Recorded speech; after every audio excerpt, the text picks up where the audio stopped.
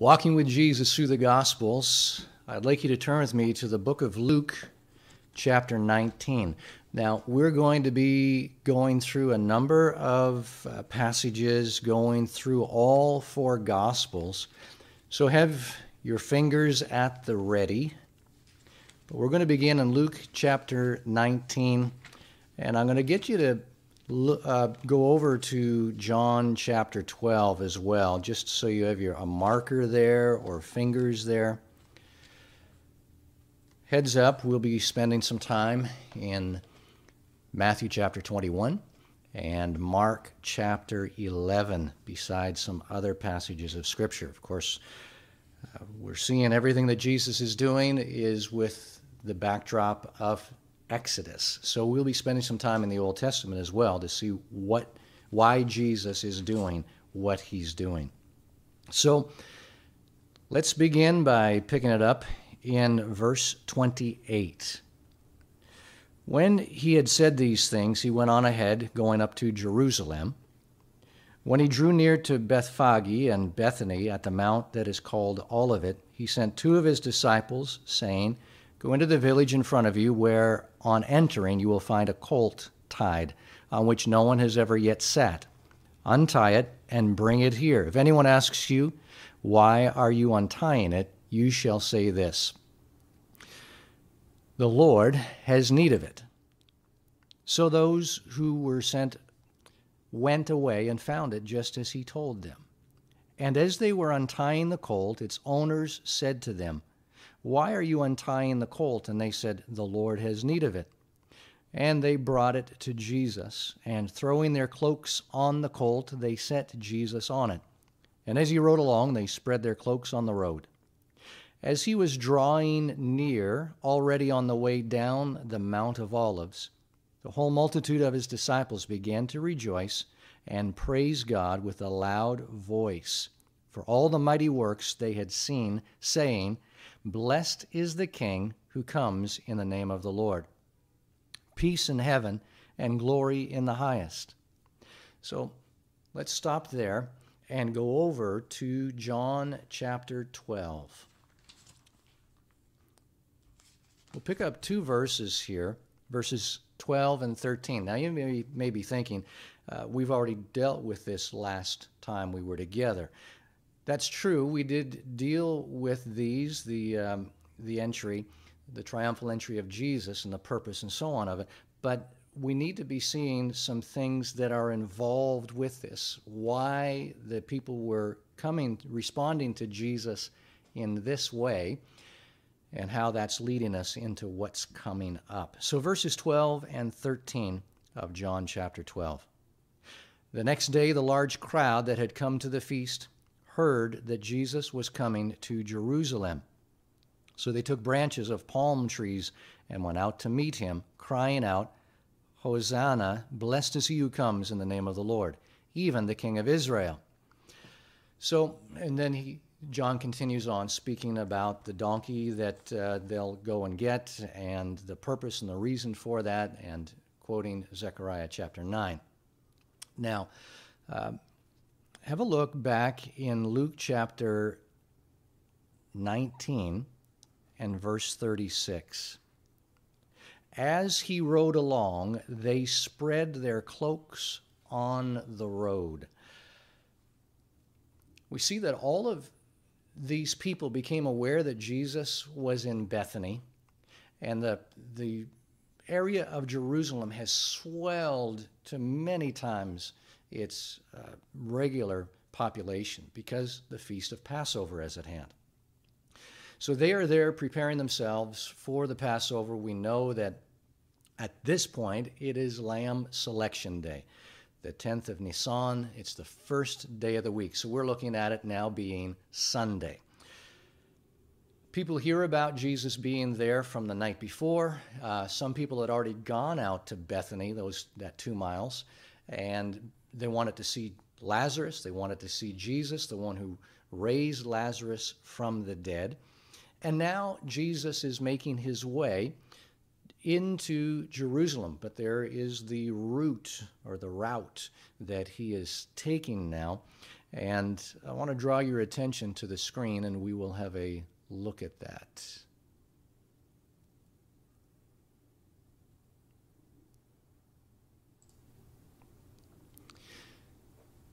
If you have motion sickness, you might not want to look at this. We'll be looking at some stills of it afterwards. It's a bit of a uh, short video here to show an overview of present day Jerusalem, Bethany, Bethphage, the Mount of Olives now coming into and overlooking the old city of Jerusalem, and then turning around, looking now eastward back towards the Mount of Olives. So here's what's taking place. We have Jerusalem, Bethany, this is where Jesus has been staying, and Mary, Martha, Lazarus. He's beginning to make his way now to Jerusalem. We've seen that he's going to Bethphage. Uh, as, as they're approaching Bethphage, Jesus sends his disciples on ahead. All right, so this is what's taking place. Mount of Olives is just beyond that. Technically, we could say that uh, they are on the slopes of the backside slopes, the eastern slope of the Mount of Olives. So let's take it now as though we are journeying from Bethany. So here we are, Bethany, on our way to Bethphage. The disciples have now gotten uh, a donkey and her colt, fulfilling Zechariah chapter 9 and verse 9. But before this happens, and the people are making their way out to where Jesus is, so likely meeting him some way, somewhere uh, between Bethany and Bethphage before he actually mounts this colt. Zechariah 14 would be coming to mind because they heard that Jesus is coming to Jerusalem. So I'd like for us to go to Zechariah chapter 14. This will help explain part of the fervor of what's going on with them uh, taking palm branches and then laying down their cloaks for uh, for the Jesus, whom they are many, most of them, and many of them, I guess, are looking at him as being the Messiah. So in Zechariah chapter 14, I want to look at verse 4. On that day, his feet shall stand on the Mount of Olives. This is speaking about the Lord, the, the Messiah. So the Lord, uh, verse 3, we'll go back just to get the context. The Lord will go out and fight against those nations as when he fights on a day of battle. On that day his feet shall stand on the Mount of Olives that lies between Jerusalem on the east and the Mount of Olives shall be split in two from east to west by a very wide valley, so that one half of the mount shall move northward, and the other half shall move southward. Now, this entire passage, chapter 14 of Zechariah, is bringing into the context of the messianic rule and reign. And then we see down in verse 16, they're expecting a battle. So 14 details this battle that'll be going on. Verse 16, Everyone who survives of all the nations that have come up against Jerusalem shall go up year after year to worship the King, the Lord of hosts, and to keep the Feast of Booths, or the Feast of Tabernacles. And then continues on speaking about uh, some of the things that will be taking place. And then uh, in verse 18, if the family of Egypt does not go up and present themselves, then on them there shall be no rain. Sh there shall be the plague with which the Lord afflicts the nations that do not go up to keep the feast of booths. This shall be the punishment to, the, to Egypt and the punishment to all the nations that do not go up to keep the feast of booths. So the Feast of Booths, the Feast of Tabernacles, is what typifies or, or represents the Messianic era, the Messianic reign. So we would refer to that as the millennial reign or the thousand year rule and reign of Jesus. So they're anticipating that the Messiah, Jesus, has come. We've been talking about that the last few times we've been together, seeing the, uh, the heightened anticipation. So even though this is six months after the Feast of Booths or uh, Sukkot, or the Feast of Tabernacles, the people have this anticipation that even though it's Passover, they're going to celebrate like it's the coming, the arrival of Messiah at the Feast of Booths. And this is, uh, you see that he, it says that he will come the day his feet shall stand on the Mount of Olives. Now, for you and me, since the, Christ, uh, since the cross, we're expecting that Jesus, when he returns, it'll be from heaven coming down to set his feet on the Mount of Olives. For them, they weren't necessarily looking that he has to come down just as long as he's in their midst and that he will you can be anywhere in the world and then when you come whether you walk or drive or fly in order to get to and then finally the destination of the mount of olives get out and walk uh, you don't have to come from uh, heaven in order for this to be fulfilled in their minds that the, his feet shall stand on the Mount of Olives. And this is their anticipation that he's going to conquer their enemies. So do you see that coming from the Mount of uh, from Bethany now to Bethphage, they're coming out because of this anticipation of Messiah. They know that he has to go over the Mount of Olives in order to get to Jerusalem, thereby fulfilling this passage of Scripture. And then by the time uh, they get to Bethphage and Jesus mounts the colt, another messianic uh, prophecy, and also from the book of Zechariah, Zechariah chapter 9.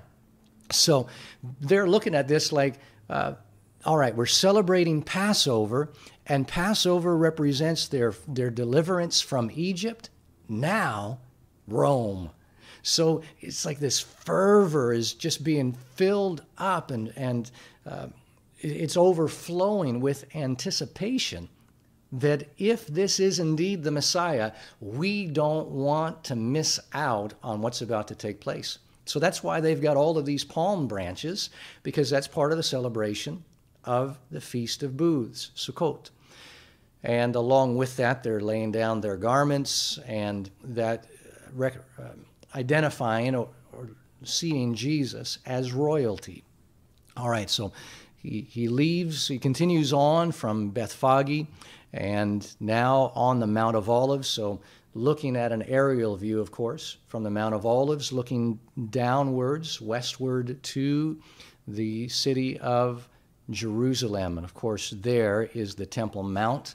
But this is obviously present day, not just a depiction. And we don't have the temple there today. Uh, in that their time, the temple would be standing there. Now, uh, here they are crying out Hosanna. Blessed is he who comes in the name of the Lord. And what is, what is this cry? It's a cry that is saying, Please save us. Give us freedom. We're sick of these Romans. So they're crying out, Deliver us, deliver us. So 1,500 years ago, the Lord delivered us from Egypt. Now deliver us from Rome and deliver us from the tyranny of all of the nations. Well, when they crest the Mount of Olives, here's what they would have seen. This is what Jesus would have seen. So you'll see these blue markers that are coming up along the Mount of Olives. These are not accurate to the exact placement, but there would have been four locations on the Mount of Olives, and they were referred to as the booths of Annas. Annas was the uh, figurehead high priest. He formerly had been the high priest, but he's not now. Right now, his son in law, Caiaphas, is the high priest. So when you see the name Annas and Caiaphas, the high priest, there's only one high priest, but Annas is, is serving, in a sense, and you'll come to appreciate this in a moment, uh, as the godfather, the mafia boss as it were. So he pulls the strings in the background. It's a very political thing, the high priesthood positions during this point in Israel's history. All right, so these four locations, the four booths of Annas, or the sons of Annas, it is uh, marketplace that is set up there. So, three market locations. Now, I want to read a couple of passages here for you from Josephus, the first century his, Jewish historian. And from the book of Antiquities of the Jews, one of his writings, he says this But as for the high priest Ananias, that he so Annas and Ananias, uh, two names, two, two ways that he's referred to, he was a great hoarder of money. He also had servants who were very wicked, who joined themselves to the boldest sort of people and went to the thrashing or threshing floors and took away the tithes that belonged to the priests by violence. So throughout Israel, the people would be bringing their tithes to the Levites, then the Levites, so the Levitical servants, then they would take a tenth of theirs to the priesthood that would be serving in Jerusalem. So Ananias or Annas, he would be sending his slaves, his servants, to go and he was he was extortioning the priests that he's supposed to be serving and supplying for. And they did not refrain from beating such as would not give these tithes to them. So, in other words, if you're one of these priests that were serving and this portion was available, was being given to you, and now you're threshing it on the floor, keep this in mind the threshing floor, okay? They are threshing the grain. Now, if they uh, find themselves in a place that I'm not going to um, give you what you're asking for, they would beat them. And so the other high priests acted in the same manner as did those his servants without anyone being able to prohibit them. In other words, this they were the mafia. This was the mob, the, the Jewish mob, the high priest mob, and Ananias is the godfather. And so they couldn't prohibit them, so that some of the priests that of old were want to be supported. In other words, they needed to be supported. They didn't have any other means of support by these tithes. They ended up dying because of a lack of food, because Ananias was extortioning these priests. All right, so this just gives you a snapshot into the to some of the aspect of Annas or Ananias. From another of Josephus's works, from the uh, wars it's, uh, it says, And now the multitude were going to rise against them already for Ananus. So he, he uses a different spelling, different wording for him. The um, ancientest or the oldest of the high priests persuaded them to it, that being this These men made the temple of God a stronghold for them and a place where they might resort or find sanctuary um, in order to avoid the troubles that they feared from the people. So that the high priesthood, there's trouble going on in Jerusalem, and the priesthood now, uh, the sanctuary has now become a refuge and a shop of tyranny. So, a place where brutality is going on by the high priest. So, here's Annas. He served as high priest for nine years, from 6 AD to 15 AD. And the, the governor of, of Jerusalem at that time ousted him, in other words, removed him from the, the high priesthood position for imposing and executing capital punishment, which had been forbidden by the Roman government. So here he is, basically a mobster. His son Eleazar served in his place from 16 to 17 AD, so just a, a year and a half or so. And then we see Joseph ben Caiaphas, his son in law. He becomes high priest in 18 AD and he serves uh, for 18 years. They had these booths, and they're called the booths of Annas or the booths of the sons of Annas, because he had five sons and one son in law. Well, these booths or marketplaces, so as you saw them there, let's bring them back up again here for a moment. So these booths are what Jesus and all of the people gathered would be at least able to see, whether or not they're noticing at this point. They'd be able to see them as they're cresting the Mount of Olives, getting ready their downward slope or westward slope towards the uh, temple. These booths, not only did they have booths here, but they had two booths in the temple in the court of the Gentiles. We'll show you that in just a moment. And what took place in these is that they had a monopoly on the sale of sacrificial animals and exchanging money to the temple currency. And they charged these high, inflated prices. So they were charging interest basically against their, their brothers, which the scriptures forbade them to do, but they did it just the same. It, it just became this picture of the corruptness of the priesthood. So you're getting a picture of what's going on. The anticipation of the people, where they are and looking for Messiah, Jesus, he is fulfilling the scriptures, Zechariah chapter 9, verse 9, coming on the, the uh, colt or the foal of a donkey. And with Zechariah 14, 4, he's coming, his feet are on the Mount of Olives and coming now to Jerusalem.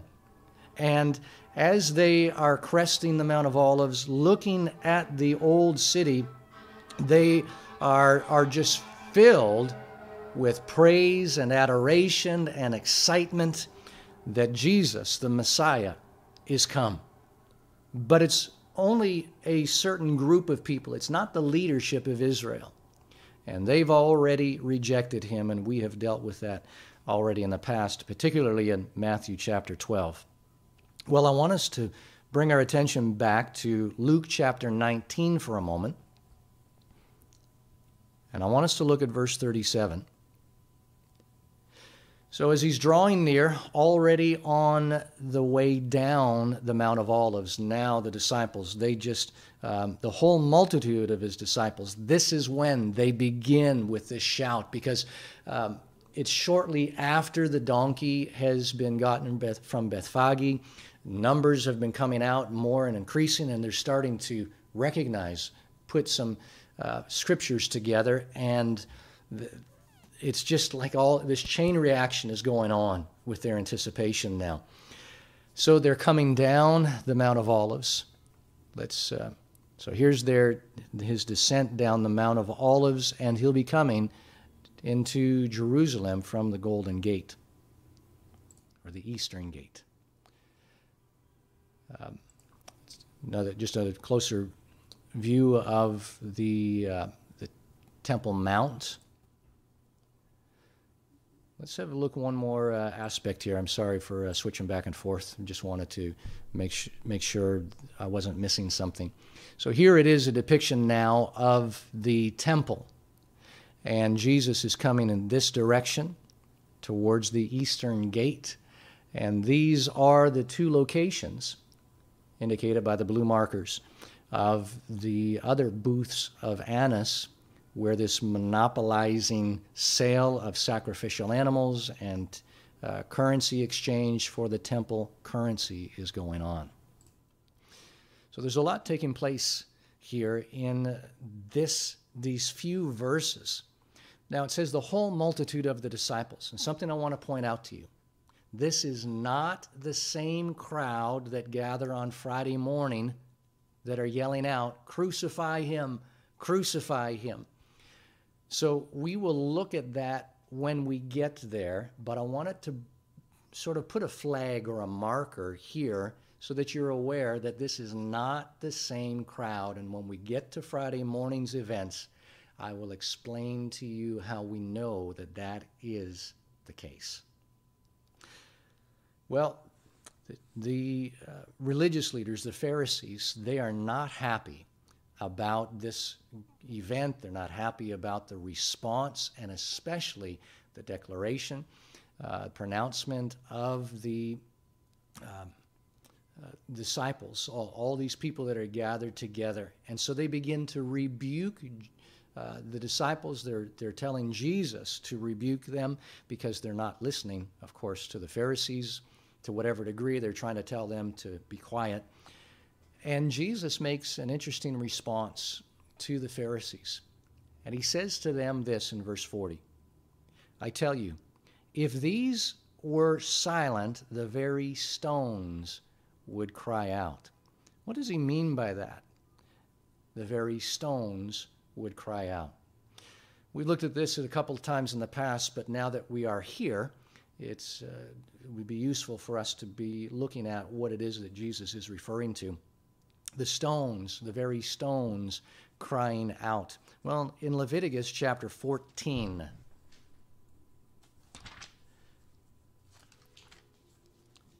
we have here details and specifications of what are to take place if a house has leprosy or mildew, mold, uh, a festering disease, as it were, where it defiles the house.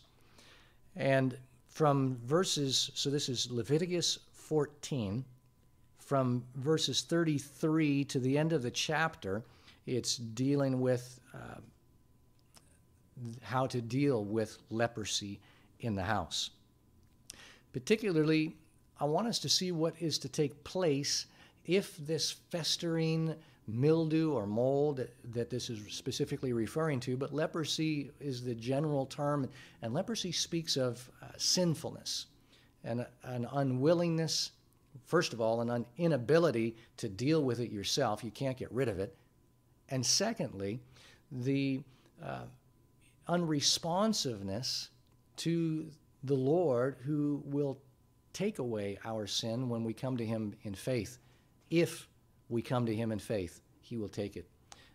But we need to come to Him. If we don't and just make it look like we're coming to Him or whatever the case, that leprosy of sin is still in our hearts. I want you to see in verse uh, 43 if the disease breaks out again, so there's certain time frames that are being spoken about, the stones that had been in the house that the, they were not getting better, they weren't improving, the the mildew was still persisting. They're to take those stones out and replace them with new stones. And that part of it is a picture of what Jesus did three and a half years earlier in John chapter 2, the first time he came into the temple to cleanse it. Well, we're getting ready for him to come into the temple to cleanse it a second time, but it's three and a half years later, the end of his earthly ministry, or at least in his bodily earthly ministry as he is bodily. So if the disease breaks out again, after he has taken out the stones and scraped the house and plastered it, then the priest shall go and look. And if the disease is spread in the house, it is a persistent leprous disease in the house. It's unclean. Here's what needs to be done He shall break down the house, its stones and timber, and all the plaster of the house, and he shall carry them out of this out of the city to an unclean place. Moreover, whoever enters the house while it is shut up shall be clean, unclean until the evening. And then continues on with uh, various aspects of cleansing and so on once if the house is clean and it hasn't persisted. But do you see what's to, to take place is that the stones are to be uh, broken down. All of the stones, all of the timber, the plaster, everything is to be taken out of the city and left as a ruinous heap, a heap of rubble. Well, I'd like for us to go ahead to Habakkuk chapter 2.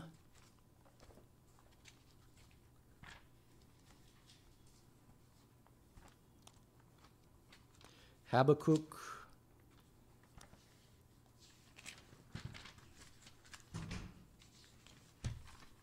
We're getting there.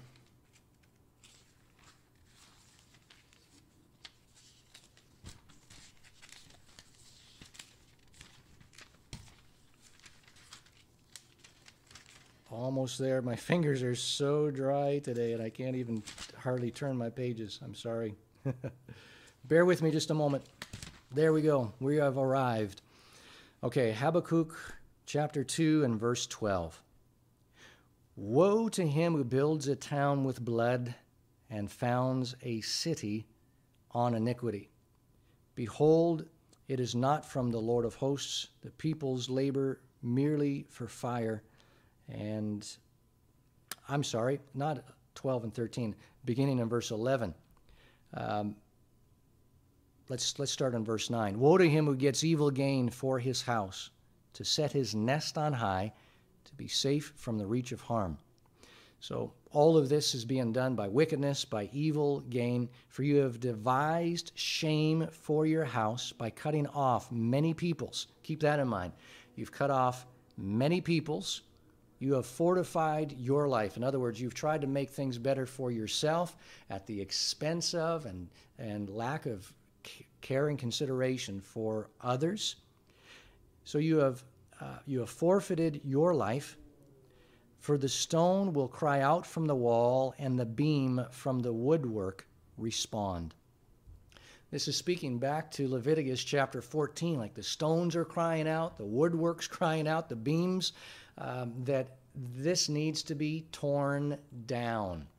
And that's what Jesus is dealing with in this respect. When he's coming, he's approaching uh, Jerusalem, and the Pharisees are saying, uh, Tell your disciples to stop crying out, Blessed is he who comes in the name of the Lord, as they are recognizing him as the Messiah. They, the Pharisees, have no use for Jesus whatsoever. They are planning with the chief priests and so on the, his death. Well, when Jesus says, I tell you that uh, if they, these disciples were quiet, then the very stones will cry out. If you don't want to hear them, then I'll leave the stones of the house, the, the leprosy that's in the house, I'll leave that to speak. But Jesus is going to be dealing with the leprosy in the house as well. And he's going, he, in a sense, he's foreshadowing that which he's going to be doing, uh, carrying out against this house tomorrow on Monday. So remember, presently we're Sunday, the first day of the week. Palm Sunday. So it's a very serious thing that they are being confronted with here and, and being indicted with. Jesus is charging them with this guilt. Well, back to Luke chapter 19, verse 41. When he drew near and saw the city, he wept over it, saying, would that you, even you, had made uh, had known on this day the things that make for peace. It's interesting that he states this, even though this this multitude of people have gathered together and they are calling on him as the Messiah. He's he's not ignoring these that have gathered around. Luke speaks very clearly that these were his disciples. So what he's speaking about is the multitude that are still within Jerusalem and throughout Israel, and particularly the Jewish leadership that have completely rejected him and have led so many astray and turned people from following after Jesus.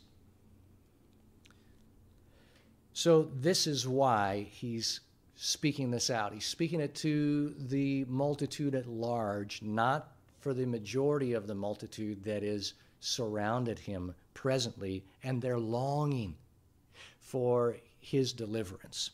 Now, they, they can only see so much and so far. They're seeing deliverance right now, anticipating it to be from Rome. But Jesus has come to give an even greater deliverance so that the deliverance uh, of tyranny, of governance, would have purpose and meaning. Without that, it's just a relief from some oppression and tyranny for a time. But Jesus gives deliverance from sin, and that's what he's come to accomplish. So he says, But now they are hidden from your eyes. Verse 43. Uh, keep 42 in mind for a moment. We're going to be checking something out in reference to that. For the days will come upon you when your enemies will set up a barricade around you, surround you, and hem you in on every side, and tear you down to the ground, you and your children within you, and they will not leave one stone upon another in you, because you did not know the time of your visitation. Shortly, in another day or two, Jesus is going to be given, giving uh, a teaching to his disciples primarily who speak about the stones of the temple buildings and Jesus is being will be more specific at that time that there won't be one stone upon another of the temple. Here he's being general, just speaking about the uh, catastrophe, the destruction that's going to be coming against Jerusalem. You didn't know the time of your visitation. The people were not responding to or re- uh, receiving the Messiah, Emmanuel, who was with them right there and speaking these very words. So he's foreshadowing that which is about to take place and what he's going to speak to further even tomorrow. So on Monday, Monday's events. What about verse 42? He said, This is how he begins Would that you, even you, had known on this day the things that make for peace, but they're hidden from your eyes. Jesus is quoting from Isaiah chapter 59, and I want us to go and have a look at Isaiah 59.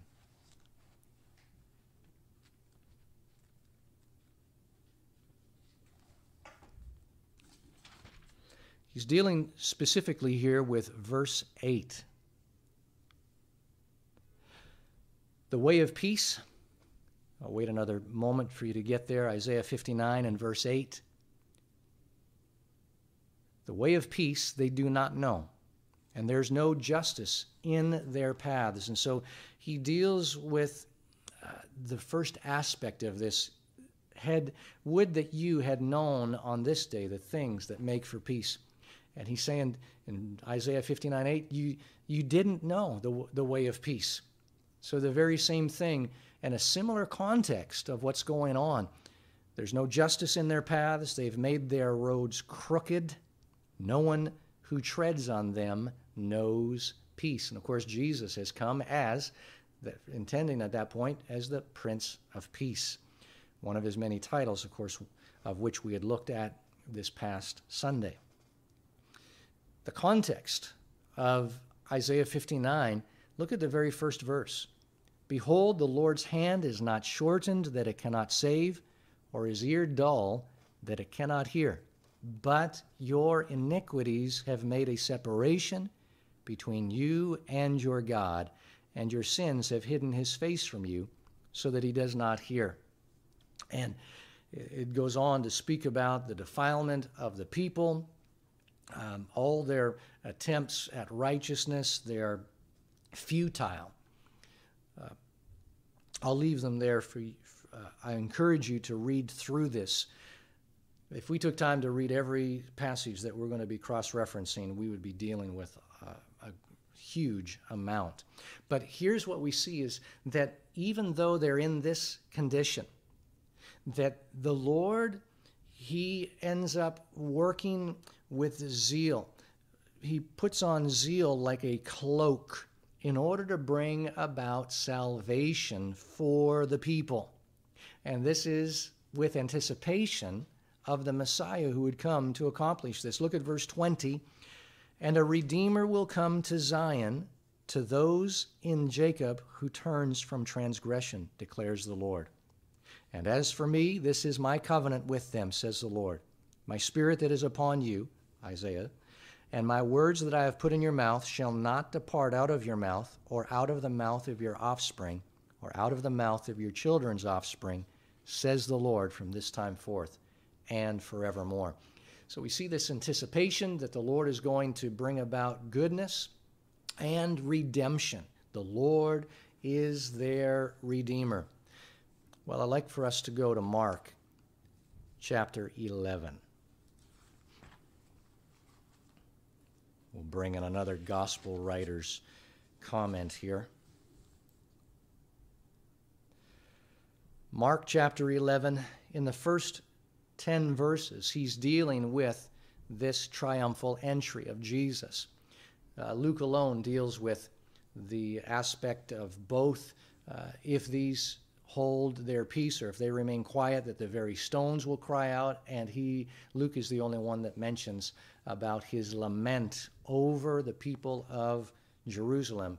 And jerusalem represents all of israel even as all of israel has gathered in jerusalem at this very moment for the passover. So then we see this uh, brings us to the end of Sunday's events in verse 11. And he entered Jerusalem. So he does enter into Jerusalem, and he comes in through that eastern gate that I had mentioned and indicated for us. And he went into the temple. And when he looked around at everything, as it was already late, he went out to Bethany with the twelve. All right, you see the sequence of events. It's late now, it's come, coming now into the evening. So now, literally, for Jewish reckoning of time, it is Monday. Um, so sundown begins the next day. So he goes out to Bethany with the 12 because this is where they are staying for through the duration of this Passover week. Well, Mark chapter 11 and verse 12. On the following day, where we have been following Luke's chronology, in other words, the way that he details and tracks the order of events for us, where he doesn't detail specific events or chrono- chronological uh, sequences, we then default to Mark when Mark does that. And then we default to the other two um, Matthew and John when Luke and Mark don't. If John and Matthew do, then we default to them. But Luke tends to be the greater of the two uh, time sequence or chronologists. chronologists. Mark then follows right on his heels when Luke doesn't do so. Matthew and John tend to be more thematic, and they tend to group things together. So on the following day, when they came from Bethany, Jesus was hungry. So this is now Monday morning. And seeing in the distance a fig tree,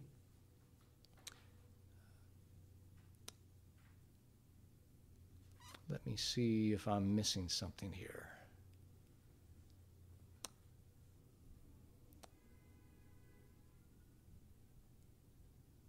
All right, there we go. I'm sorry. I, just, I went to bring us to a slide, and it wasn't looking like the right one. So we have them on their way back to Jerusalem. You remember the route from Bethany to Bethphage, uh, across the Mount of Olives, and then down into Jerusalem. So they came from this direction here.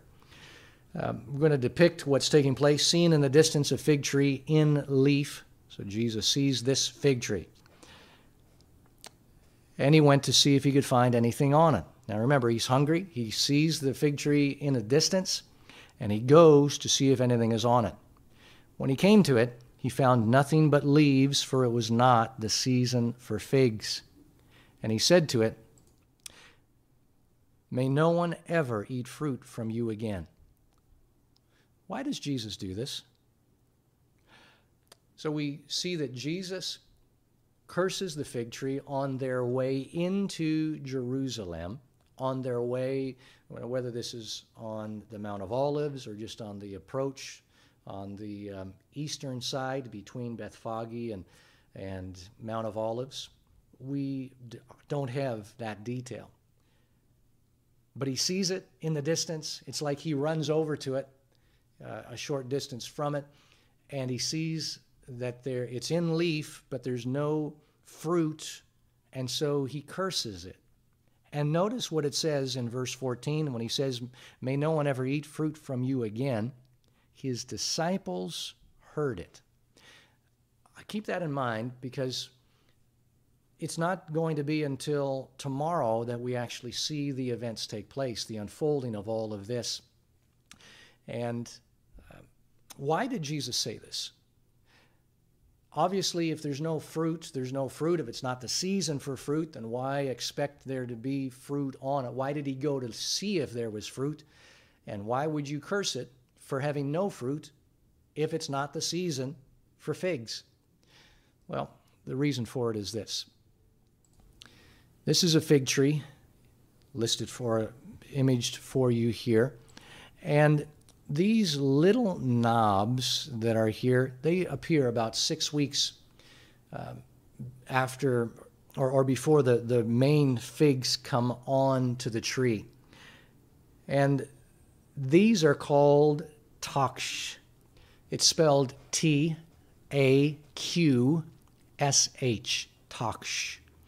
It's like the pre fruit. What this is, is it's nubs of fruit that grow on last year's branches.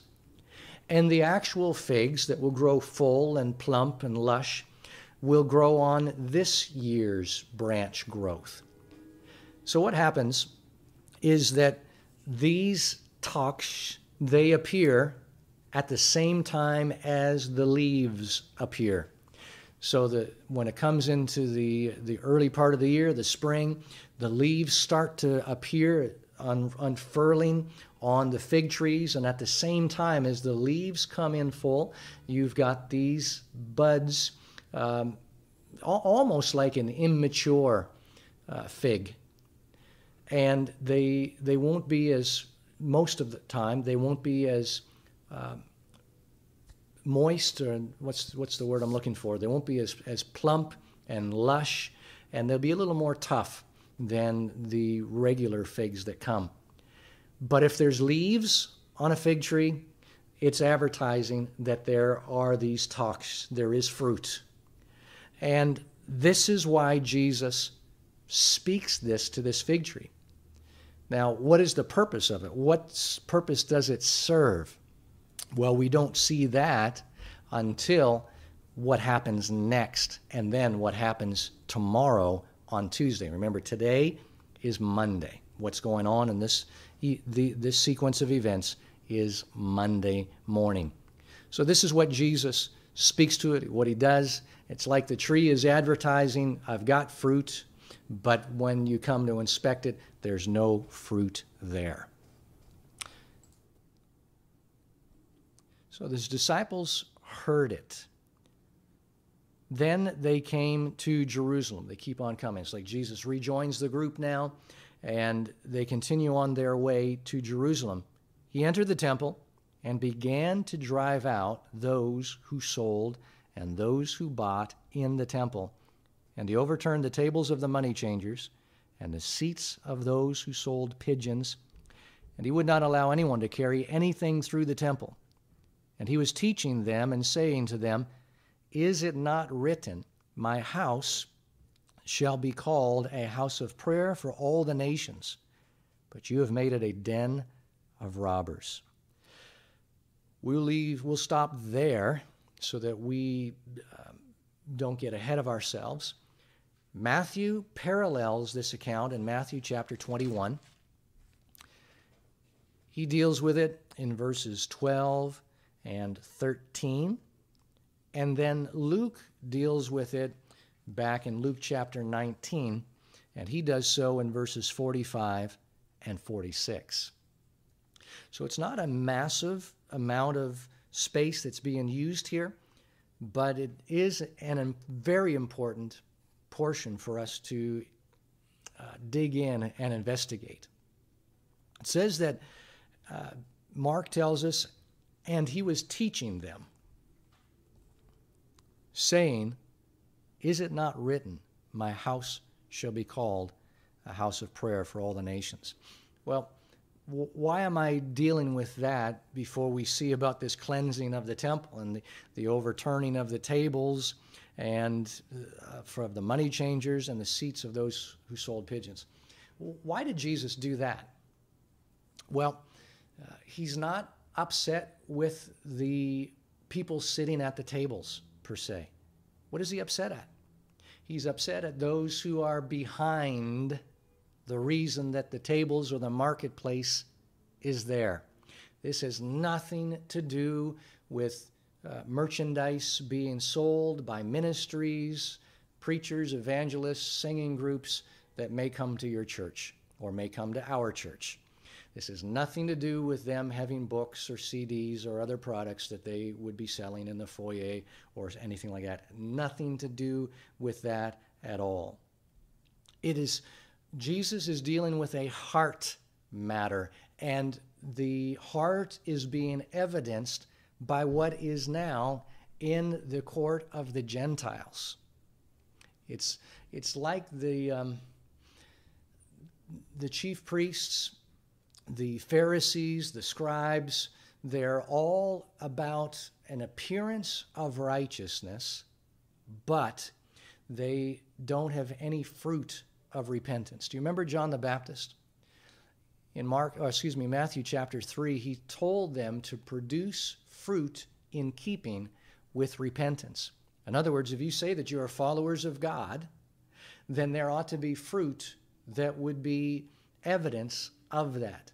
And for the religious leaders, uh, for the most part, they're like the fig tree that Jesus had just passed a short time ago that are advertising big leaves, advertising that I have fruit, but on closer inspection, discovering that there's nothing there of substance whatsoever. Uh, and it's like Jesus knows that. He goes to the fig tree to inspect it. The disciples didn't. It was Jesus who does this. And when he sees there's no fruit, he curses it. Jesus, he is uh, he's longing for this fruit to be produced. He's longing for this fruit to be present, but he's been ministering to these religious leaders and to the to the multitudes now for a long time, and they are simply not having anything of it. They're not responding to him. So the reason that he is overthrowing these tables, it's because of the heart of those who control the tables is wicked. And these are the ones who are leading the people of Israel, the ones that are the shepherds and supposed to have care and concern for the people. Remember the booths of Annas that we had seen indicated by those blue markers. I want us I want us to go to 2 Samuel. Um, let's go to 2 Samuel chapter 24. Trying to determine how much we are going to deal with because of our time, but uh, we'll be able to get a good ways into this before we have to delay our journey continuing until next week. So 2 Samuel chapter 24, and I want us to look, look at verse 15. Now, David, he had sinned against the Lord, and he had uh, gone ahead and conducted a census for the purpose so that he would see how strong he is. So, censuses uh, in and of themselves were not a bad thing. The Lord had instructed the people of Israel to conduct censuses uh, on a number of occasions. But in this instance, it was David's own idea, and he was doing it for the purpose of seeing where his strength lay. He had taken his eyes off of the Lord for a time, failing to recognize that his strength comes from the Lord. Well, in verse 15, after uh, destroying angel was bringing uh, destruction upon Jerusalem, here's what we see in verse 15 The Lord sent a pestilence on Israel from the morning until the appointed time. There died of the people from Dan to Beersheba 70,000 men. And when the angel stretched out his hand toward Jerusalem to destroy it, the Lord relented from the calamity and said to the angel who was working destruction among the people, It is enough. Now stay your hand. And the angel of the Lord was by the threshing floor of Araunah the Jebusite. Then David spoke to the Lord when he saw the angel who was striking the people and said, Behold, I have sinned and I have done wickedly. Now, notice David's heart. He has changed, he's repented of his sin. So I have sinned and I've done wickedly, but these sheep, what have they done? Please let your hand be against me and against my father's house. Gad came that day to David and said to him, Go up, raise an altar to the Lord on the threshing floor of Araunah the Jebusite. Notice a couple of things that it's a threshing floor that he's to um, set up this altar. I, uh, not a couple of things, it's just that one thing. And David, he went up at Gad's word as the Lord commanded. And when Araunah looked down, he saw the king and his servants coming on toward him. Now, Araunah is, one, is the last Jebusite that is spoken about in the scriptures. So the Jebusites were the ones that occupied the city of Jerusalem until David was successful in conquering the city and made it the capital. So he went out and paid homage to the king with his face to the ground. And Araunah said, Why has my lord the king come to his servant? And David said, To buy the threshing floor from you in order to build an altar to the Lord, that the plague may be averted from the people.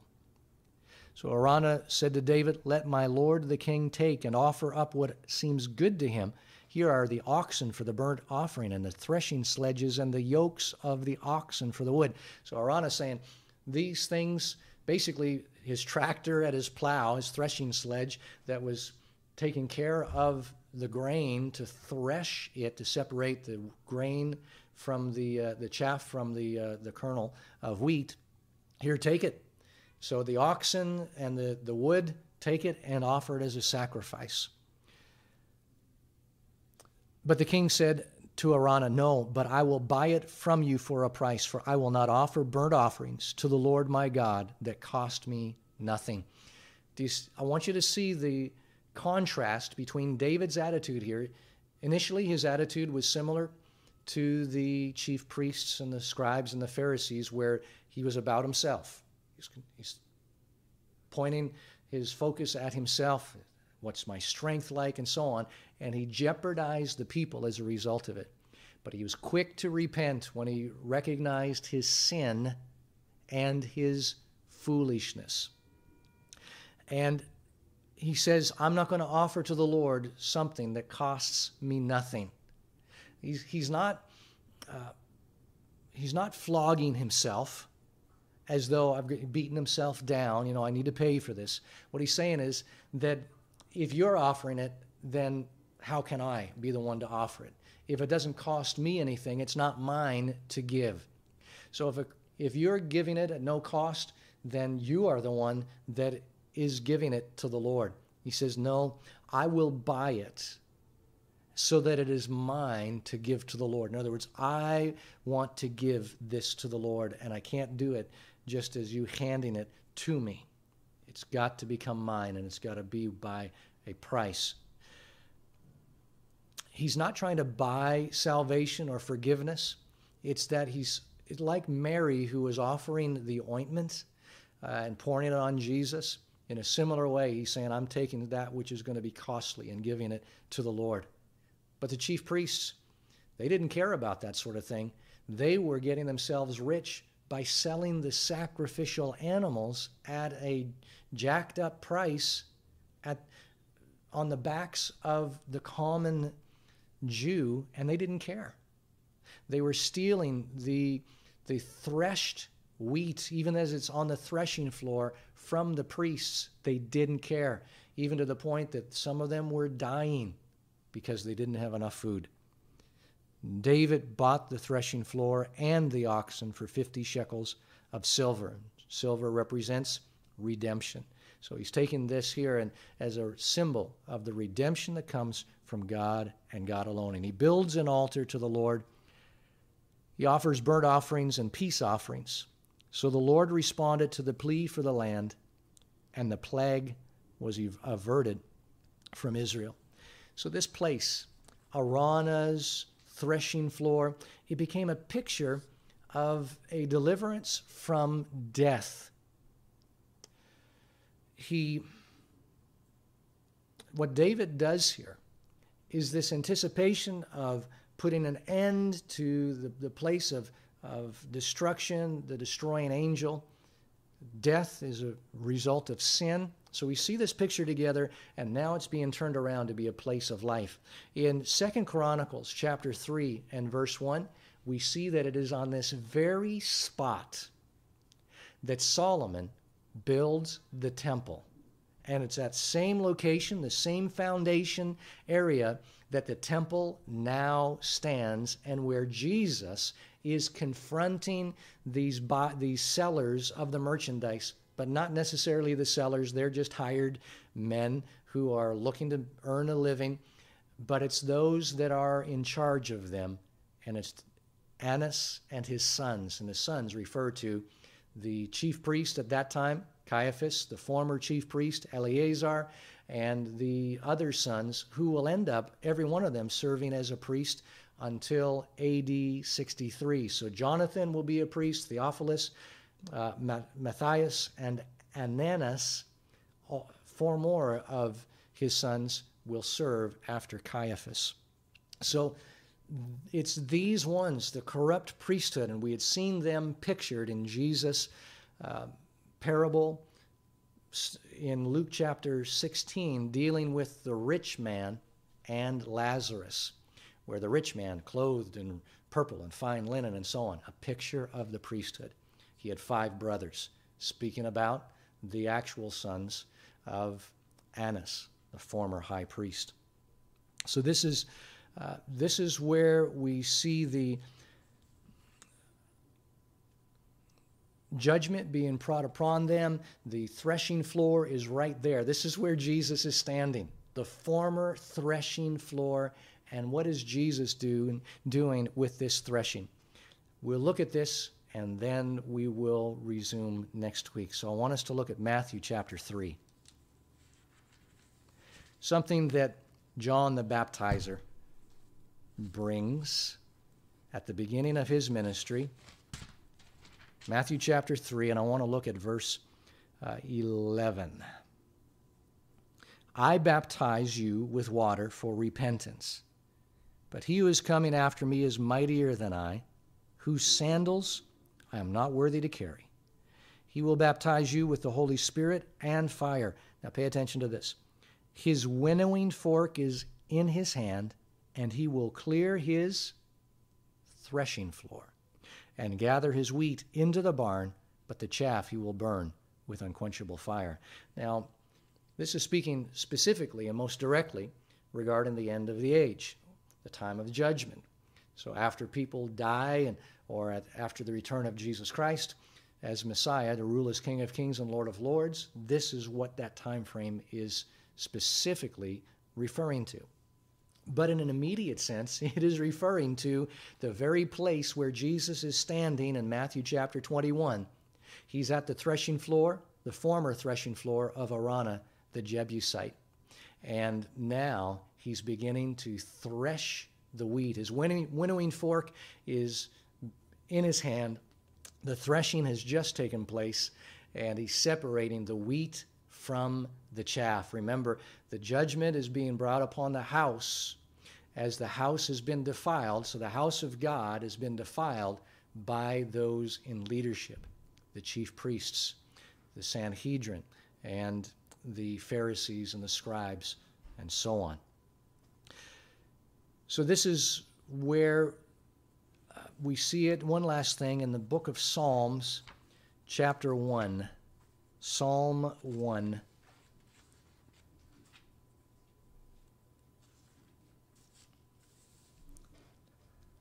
Look at the contrast. The first three verses uh, speak about the righteous, and then we're going to look at the wicked in the last three verses.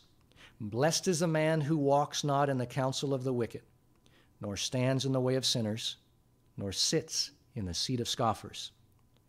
But his delight is in the law of the Lord, and on his law he meditates day and night. He's like a tree planted by streams of water that yields its fruit in its season, and its leaf does not wither. In all that he does, he prospers. So, this is the one who fears the Lord, who delights in the Lord and his word, not just by tradition or this is what he does and, or he reads it louder or more often than anyone else. This is something that is truly the heart of this individual, the one who is righteous. He's blessed. The one who follows the Lord and his word, he is blessed.